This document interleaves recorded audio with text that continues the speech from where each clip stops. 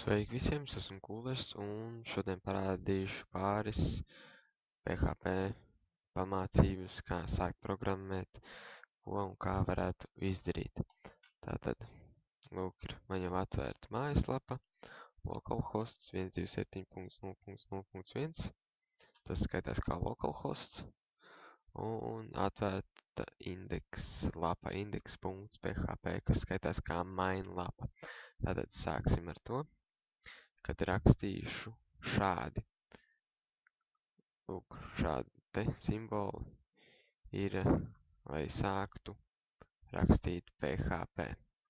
Tātad, lūk, šeit iekšā rakstu dolāra zīmi un rakstu mainīgais. Un mainīgo nodēvēšu kā test. Tātad šis mums te ir mainīgais.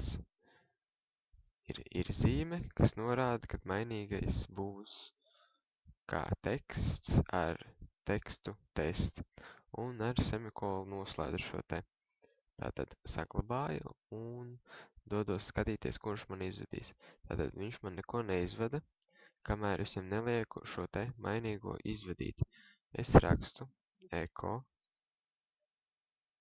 dolāra zīme, mainīgais, un noslēdzu atkal ar semikolu.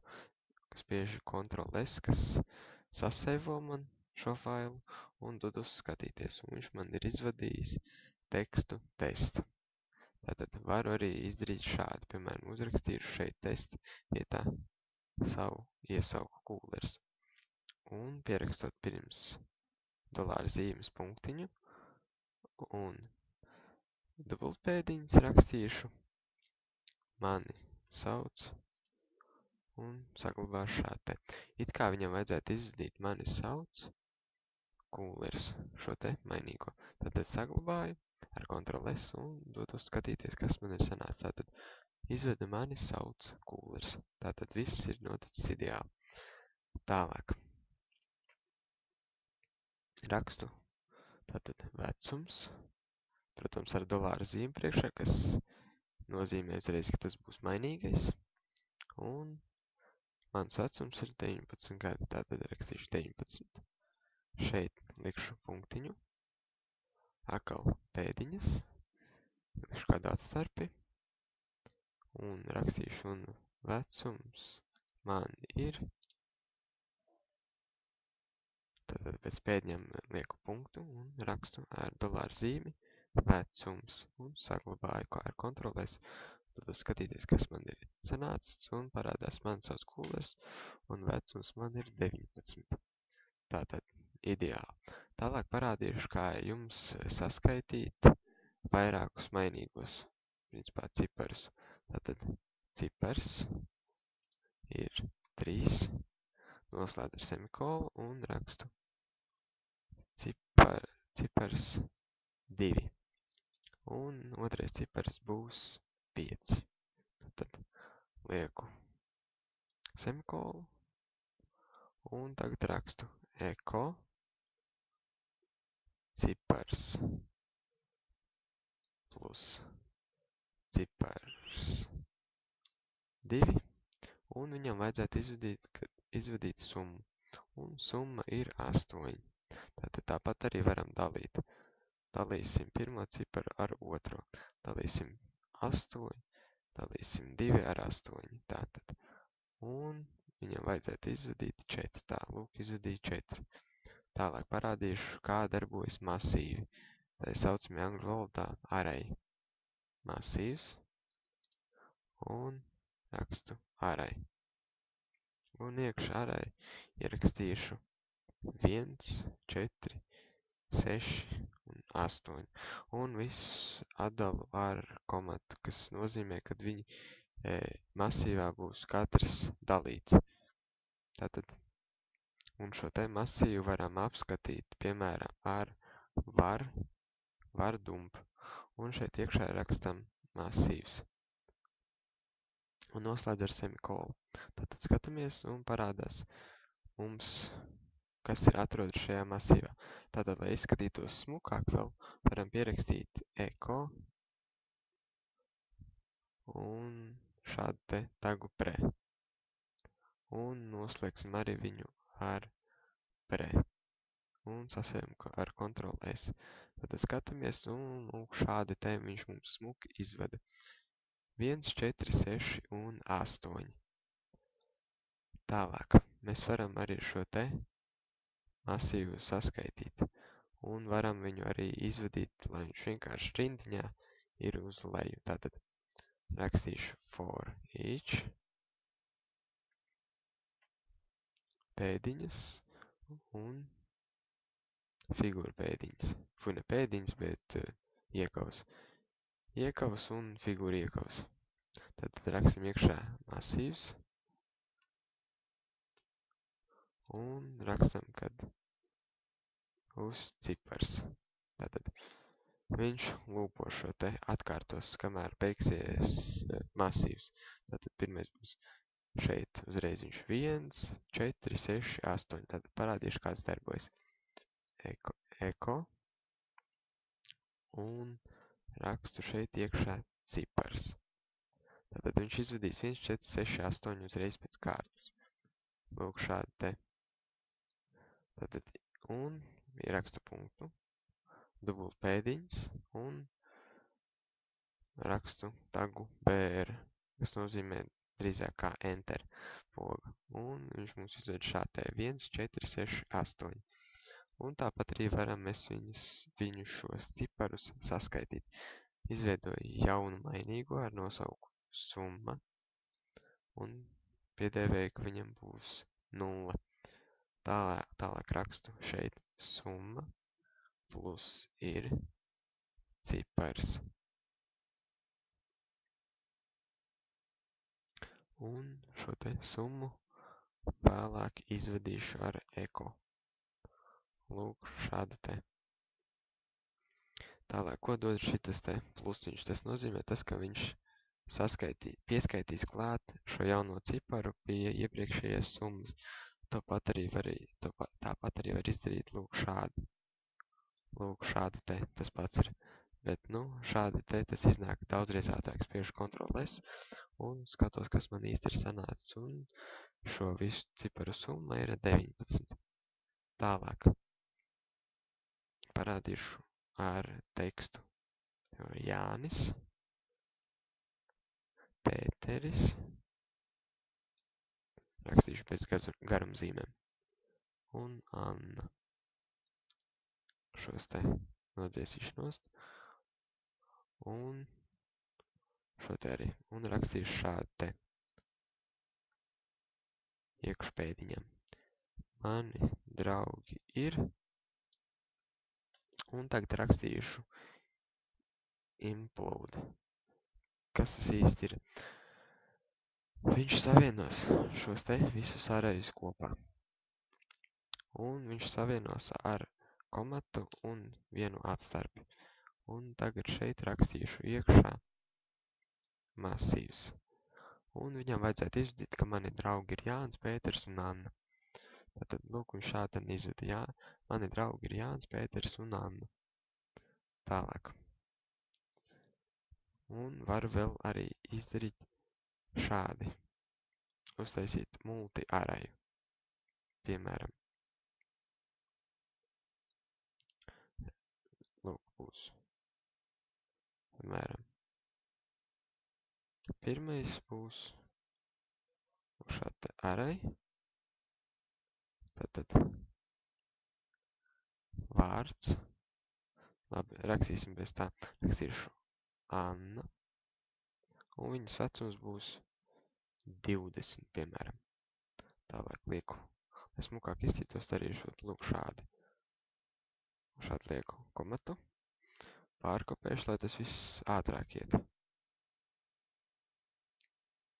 Viens un divi. Pēteris un Jānis. Un šis jau veidojas kā masīvs zars. Un šie te 20 būs 19 gadi, un Jānim būs 15 gadi. Ot, šādi te viņš neko man neizvedīs. Viņš izvedīs, ka tas ir arais. Tālāk. Es varu izdarīt šādi. Rakstīšu for each, viņš jau man automātiski jau to piedāvā. Rakstīšu masīvs. Rakstu masīvs. Un key value. Tātad, lūk, šis te skaitās kā key. Un šis te arrays ir value. Tātad rakstīšu, kad kas ir mani, kas ir mani draugi, un parādīsies arī vecums. Tātad rakstu eko. Tātad value. Lūk, šis te, jā, rakstam kvadrāti iekavas un rakstu nulle. Tātad, kāpēc tieši nulle? Tātad šis skaitās kā ārējā masīvā pirmais elements. Tātad pirmais elements būs Anna, Pēteris un Jānis. Tātad rakstu punktu, pēdiņas un rakstīšu mīnusiņu atkal punktiņu un parādīsies, cik katram ir gadu. Tātad atkal punktu un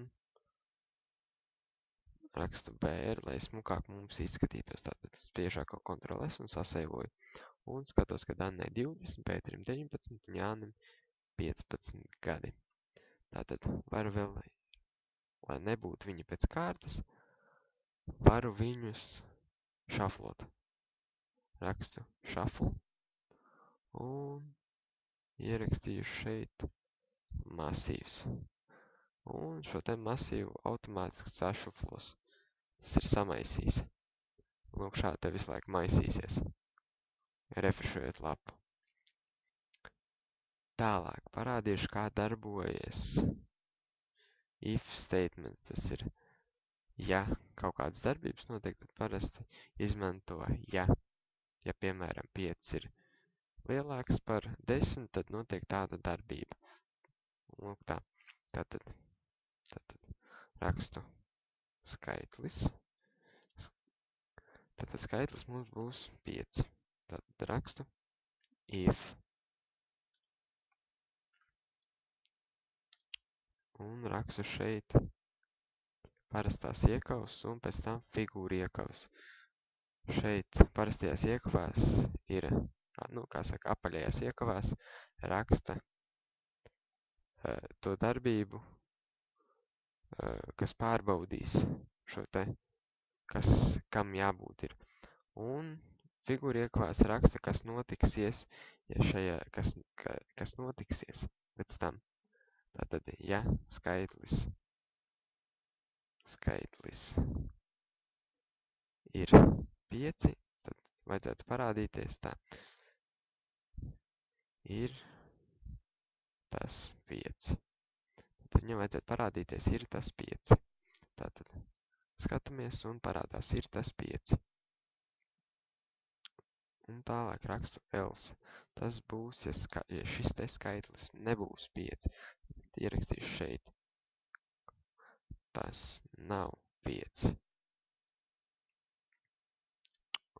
saseivoju un parādās vēl joprojām ir tas 5, un es nomainīšu uz 7, tad tas parādīsies, tas nav 5. Tālāk rakstīšu else if un atkal apaļās iekaus un tagad skatīsimies, vai tas skaitlis ir 6. Rakstu 6. Tālāk.